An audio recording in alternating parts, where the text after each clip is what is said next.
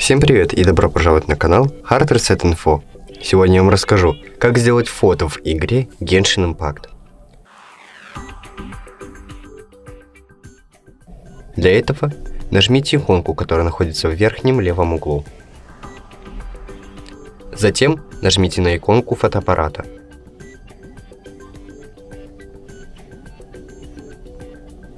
Затем нажмите кнопку фотоаппарата еще раз.